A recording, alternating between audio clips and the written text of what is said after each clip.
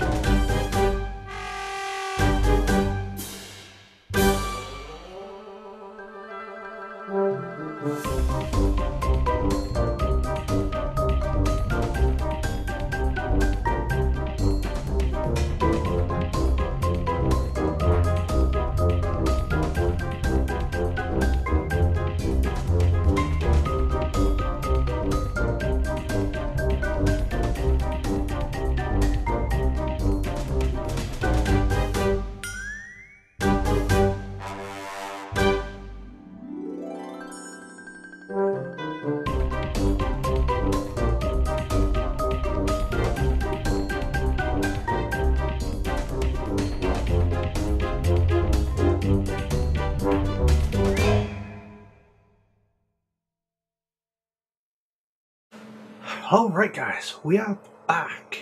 We have built the container. Uh, all seven steps, and if I was to scroll up... Yeah, this is what took so long. Yeah. I said, th this is what took so long. Okay, now we've got that, we've built it, now we want to run the container. Uh, but we want to see if the, the container's there. So Docker images. That will pull up all of the images that is on your Docker. So we've got tutorial bot and we have the Raspberry Pi node. So we to launch it, we do docker run minus d uh, tutorial bot. Now, if that runs, Superbot should come online any second. See, it is now online. Ping help So yeah, what's my level? I'm permission level 4. But if I go to my main account and do my level, I'm level 10. See, that is working beautifully. Now, if we want to get the container ID, which is what you'll need to, if you want to delete the container, is docker ps. So let me widen this a bit more and rerun the command. There you go. Uh, that's the container ID. That is what you'll need if you want to stop the container. But we want to have a look at the logs. Uh, so we can do one of two ways. Uh, Docker logs, and we need the container's ID. And there you go, there's the console log, you know, uh, when I ran, where is it? Ping, is there help, is there my level, is there then my main account running. So yeah, that's working. But you can go into the actual container itself. So if we do docker execute it with the container ID bin bash. We are now officially in the directory, well, the container for the bot. However, there could be a potential problem with updating the bot because you would potentially have to rebuild the Docker file. But I think if we just quickly jump onto here, I think if we were to do a GitHub update command like that, uh, basically it'll download the modified source code from its GitHub repository, apply the file changes, and then reboot the bot. I think that would work. Uh, I might do that in a follow-up tutorial. Uh, let me just grab my notes. I need to go. I need to find Nomsy again because he's got my notes. Nom, not not Mon. Noms.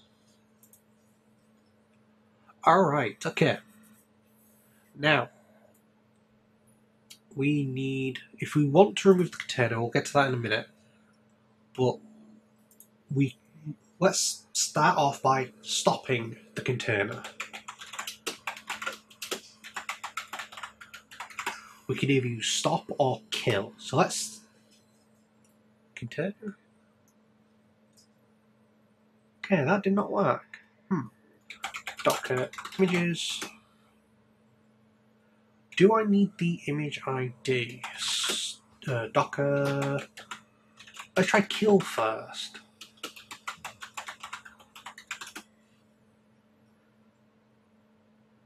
Apparently there's no such container. Oh wait, no, that's... Wait, is that... Is there a container ID? Oh, wait, no. Uh, Docker PS. Container ID. Okay. So, Docker is asking for a container. Alright, alright, alright. Docker kill. And again, let's do that. Alright.